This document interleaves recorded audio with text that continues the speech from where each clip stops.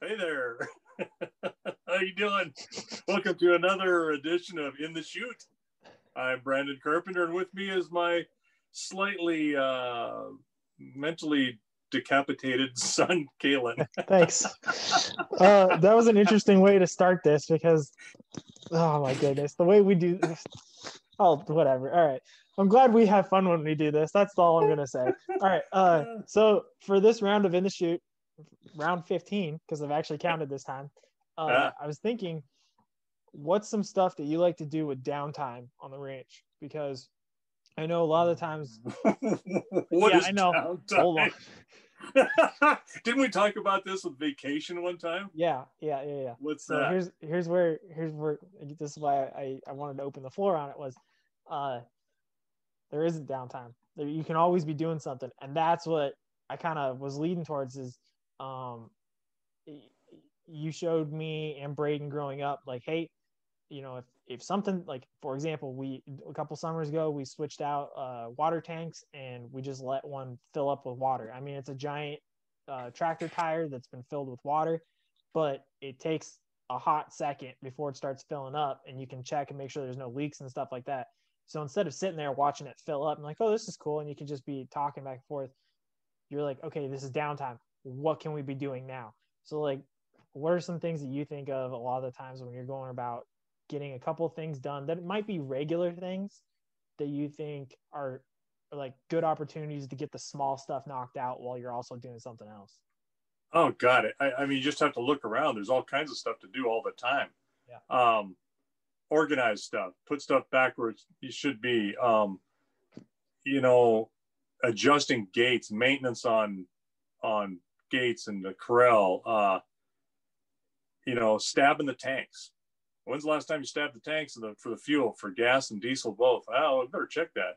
In fact, is we did that just you know last week and because the worst thing that could fuel. happen is you don't and then suddenly you come over and you need fuel and you don't have fuel you don't have fuel. Yeah. Yeah. So, um, you know, there's always, it seems like there's always a pile of junk. You're Yeah. always working with something and you're tossing stuff.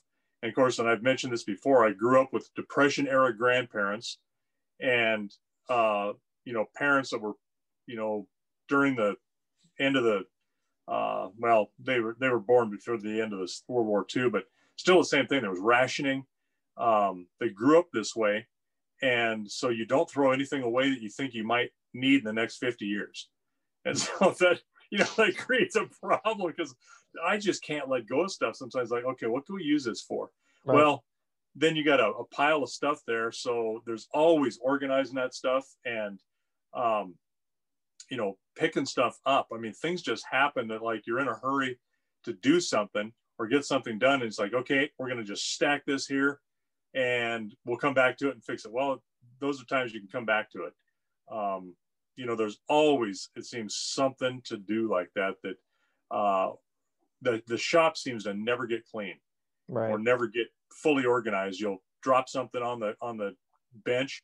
Say, okay, I'm going to put that back. And it's not that it's, it's hard to do. It's just like, okay, I got to take, you know, the 15 steps to the back corner there, figure out where this has got to go, organize it, and it just doesn't get done. So then every once in a while you just stop what you're doing and, uh, um, you know, have to catch up. So there's that.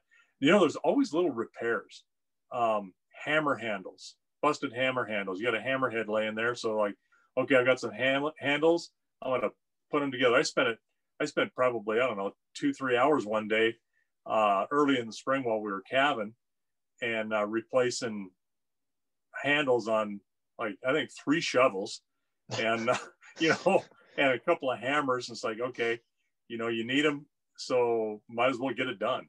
Um, there's always always that kind of stuff going on. So it's uh, come alongs. Come along's a great tool, but when you can't use it, it's useless. yeah And freezes they- up he just sits there yeah, you got to oil them up. You got to keep them lubed. You got to make sure the springs are working. That the sides that hold the cable doesn't get crushed because that can happen. And you crush it, crush the side of a cable, then you know, then you got a, as big a problem as as if you had uh, none at all.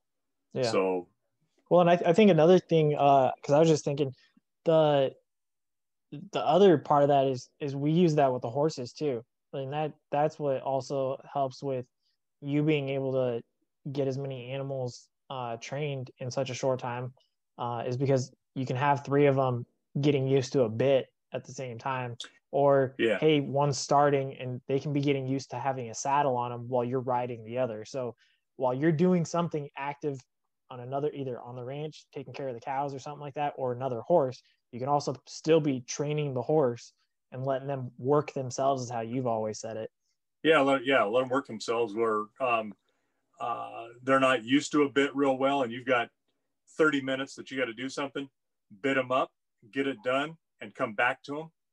And yeah, they're you know, or saddling. Uh, those initial saddlings and stuff are important that it goes well, but you're not overwhelming them, and you're doing little things in in between. And you, yeah, it's easy to burn up a day with uh, three horses, three head of horses that uh, you got two of them doing training on the, on their own or training themselves while you're working a third one and you just keep rotating those around it's you know way easy to do that and and uh, you know another one that's that's uh, something i'm trying to do right now and that is getting some of these heifers acclimated to an automatic waterer. That is a pain in the butt. Yeah. And you go out there and you, they're curious and you get them feed them a little cake and they want to come up to you but if they haven't had any water you you got to fill that waterer let them nose into it and they'll they're thirsty and you got to show them where it's at but you want to keep them off of an open water source where you know they're going to go right to it. They're not going to go to this waterer.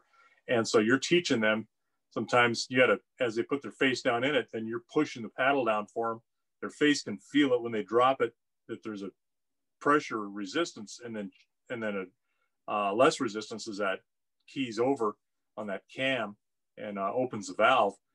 And you'll get something figured out pretty quickly and others that are dumb as a post and it's like oh my god why did i keep you? And that takes a sometimes i spend a couple of hours out there just playing with that you know uh, this time of year in the fall after you've weaned uh, trying to get them to teach them how to drink out of a waterer.